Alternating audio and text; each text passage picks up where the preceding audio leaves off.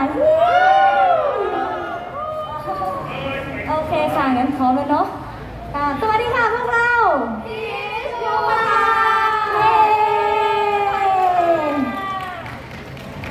ฮัลโหลเอ๋วันนี้ก็ยินดีที่ได้มาที่นี่อีกครั้งเนาะใช่ค่ะอาจจะมีอันนี้คือคุณหน้าคุณตามาดีอยู่แล้ว ใช่ แล้วก็มีหลายๆคนที่เราก็แบบว่าไม่คุณหน้าคุณตา หลายๆคนก็อาจจะยังไม่รู้จักเราหรือเปล่าากฝั่งนู้นก่อนละกันขอดังๆได้ไหมคนแรก ได้ได้ได้อะอ่าโอเค งั้นแบบนี้นะคะอะโอเคสวัสดีค่ะกระตังค่ะ สวัสดีค่ะแอนจี้ค่ะ สวัสดีค่ะเอ๋ยค่ะ อุ้ยโอ้โหถอยกลับแป๊บคำพูดเธอดังมากอะถ้างั้นขอแบบว่าดังๆอีกทีนะคะ สวัสดีค่ะแอนโกค่ะชื่นใจโอเค โอ้ยอยากชื่นใจมากค่ะ ขอดังๆขอดังๆคนสุดท้าย มาค่ะนิโยค่ะ